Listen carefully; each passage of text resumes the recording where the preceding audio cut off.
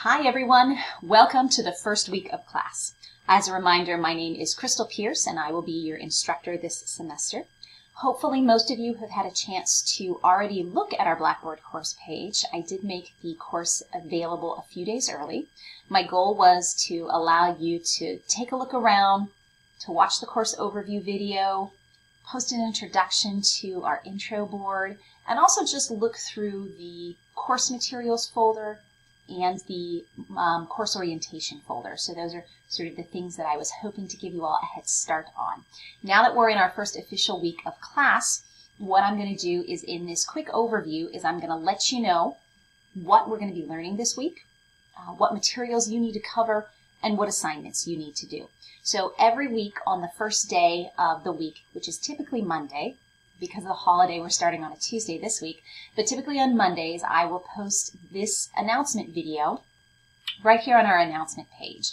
And in addition to having a video overview of what to expect for the week, you can also see there will be a written overview of what to expect to the week as well. If you want more information about uh, what I have in the course materials folder and what is in the um, course orientation folder, um, please watch this course overview video. That's where you're going to find that information. I go over the, the syllabus a little bit, the schedule, um, different places to find things on Blackboard. So it's a it's an important video to watch, so please make sure that you do that. But this particular video is just going to focus on what we have for our first week of class. So again, here was our course orientation.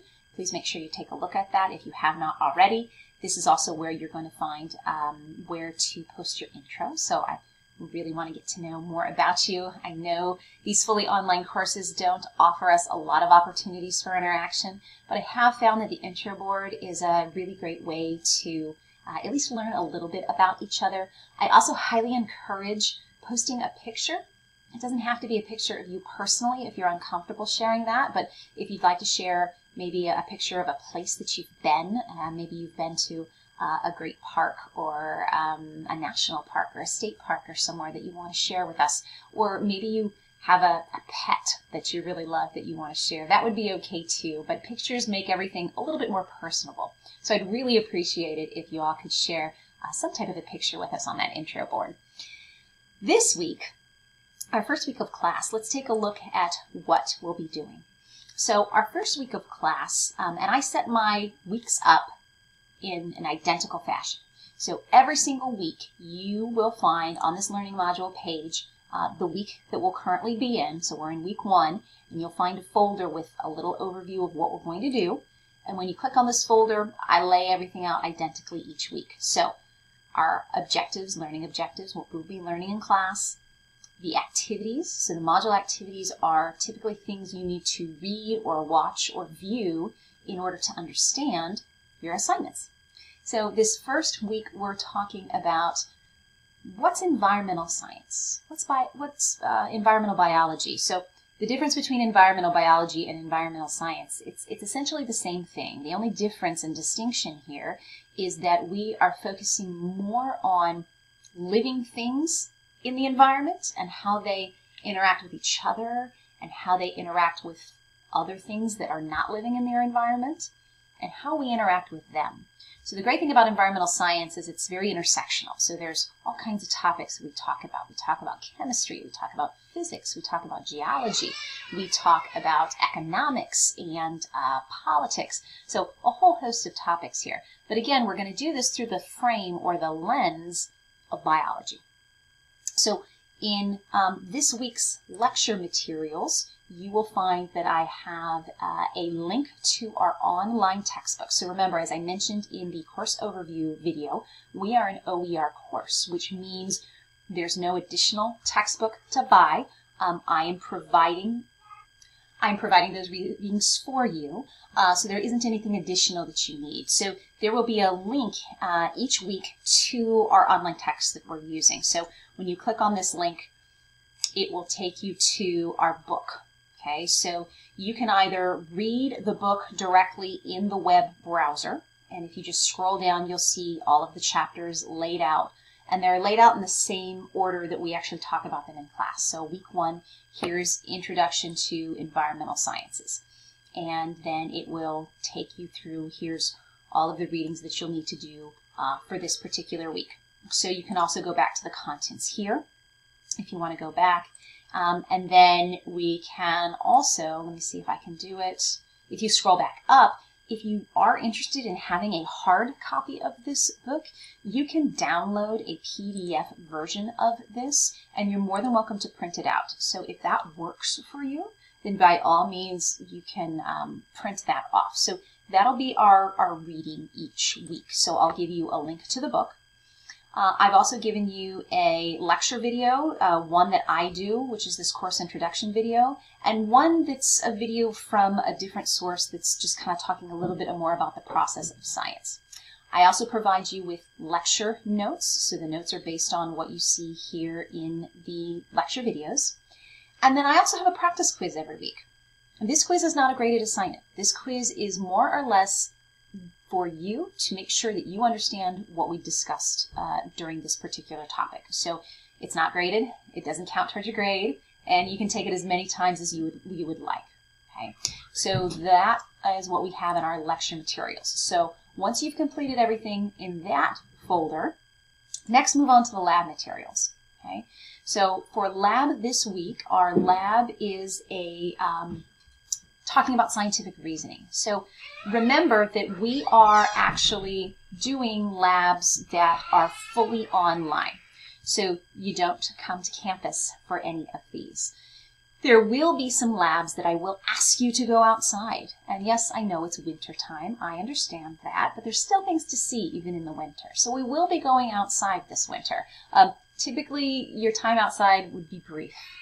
10, 15 minutes at the most is what you would need and for most of those labs, there isn't anything additional you would need. Um, there might be um, one or two items I would ask you to bring with you outside, but they should be things that you have lying around the house. So there isn't any equipment or anything that you would need to, to purchase to complete these labs. Um, most everything you can, again, either have with you at home or I will offer you some online alternative that you can access instead. Um, so again, this week you'll be doing uh, scientific reasoning. So scientific reasoning um, is just about how we formulate and ask questions in science.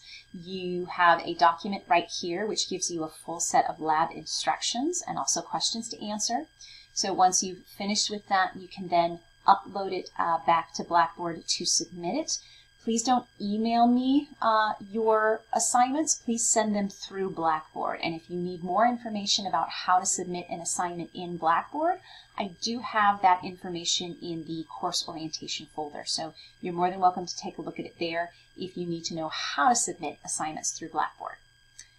So you'll do uh, your lecture materials, going through them. You'll do the lab, and then last will be your last two assignments.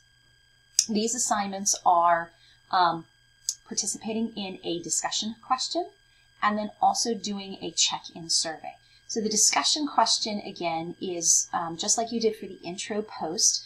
The first couple weeks of class, I will post a question for you, and what you will do is just respond to it. So you're going to respond to me, and then you're also going to reply to at least one other student. I have given you some tips in the course orientation folder on how to make a good response post and how to make a good reply to another student post. So I highly recommend taking a look at that. Um, I do have a grading rubric for discussion posts and I do want to make sure that you're fully engaged in answering and responding to other students. So one sentence is not going to cut it for a response. I agree with you, great idea. That's probably not going to cut it either. So make sure you look at those uh, tips and hints that I gave you for a little bit more information about what I'm looking for in your response posts. And then last but not least is our check-in survey. So the check-in survey actually is um, using a website called Socrative. So each week you're going to use the same room number to access the quiz and the room number is based on your section. So the information will be right here in the assignment. So if you're section 1, it's Bio 104 W01. If you're section 2 or 3 or 4, that's going to change based on your section number. So you're going to type in your section number. So I would put in uh, Bio 104 W01. And then it's going to ask for your student ID. Your student ID is your Harper username. So whatever your Harper username is that you use to get into Blackboard, to get into your email uh, through Harper, to get into all of your other services, that's the username that you're going to use to access Socrative as well. So you'll type in your Harper username and hit submit, and then you'll see that week's check-in quiz. And the check-in quiz is pretty simple. It's usually um, one or two multiple choice questions and then a written question like, can you summarize or what did you learn or something like that. So it's pretty simple. Okay. It's also your opportunity to ask me questions. So sometimes students have questions about the content, but they, they forget to email me or you think, eh, maybe it's just not that important.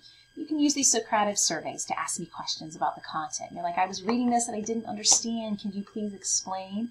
Uh, I'd be happy to do that for you. So you can leave those questions there as well.